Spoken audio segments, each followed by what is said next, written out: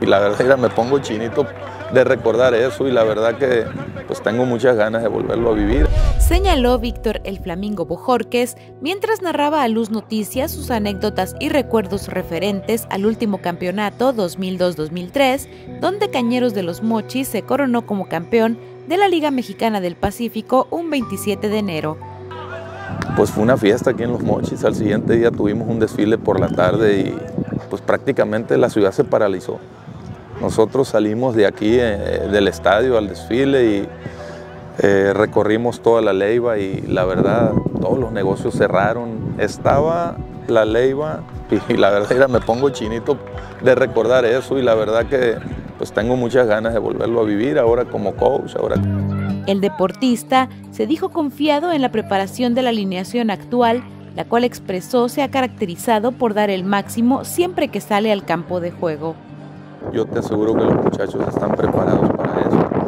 Vamos con nuestro mejor pitcher, el mejor pitcher de la liga durante toda la temporada, entonces eh, esperemos que nos dé una buena salida y que la ofensiva explote para poder ganar.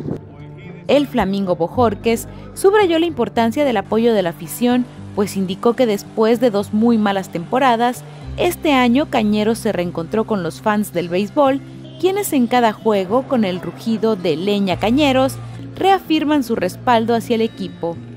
Sabemos que, es difícil que vuelvan a confiar en un equipo cuando tuvimos dos temporadas tan difíciles, pero los muchachos lograron eso, ese clic con la afición de nuevo, de, convencerlos ¿no? de, que, de que están listos para cosas grandes y, y la verdad que durante toda la temporada nos apoyaron mucho y pues ni qué hablar del playoff.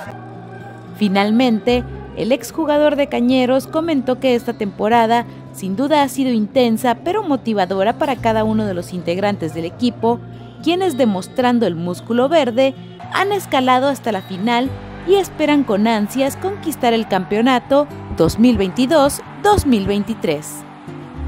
Con imágenes de Martín Ruiz, informó para Luz Noticias Rita Sánchez.